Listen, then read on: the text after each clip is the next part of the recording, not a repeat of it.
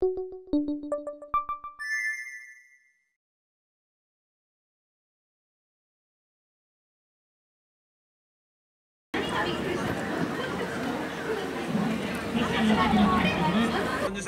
は双葉地方のシンボルイベントであった双葉ワールドを14年ぶりに復活させ避難している皆様が交流の機会を創出することでふるさと双葉の復興に向けた意識の高揚が図れればと願っているところであります。今回は双葉ワールドの大鍋の復活による郷土食の水豚次郎を振る舞うほか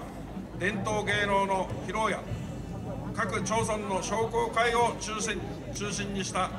復興商店街の開催並びに現在の双葉地方の復興への取り組みについても広報をいたすものであります。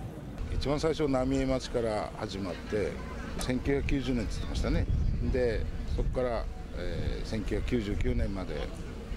えー、一回りして最後は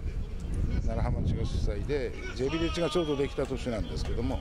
J ビレッジでやって、えー、終わった14年前ですけどね。なかなかねこういう事業で人が集まる少ないんでそれが一番心配だったんですけど、まあ、このぐらい集まってもらえればなんか少しでも復興につながっていくのかな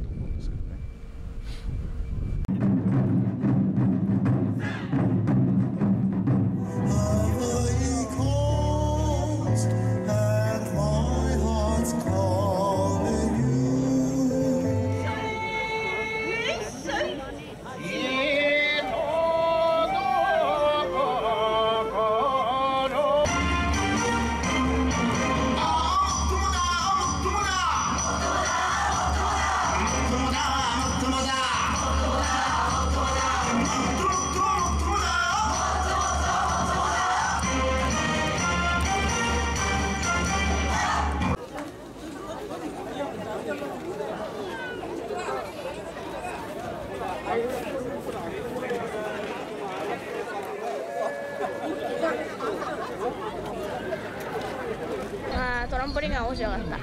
た。楽しかったです。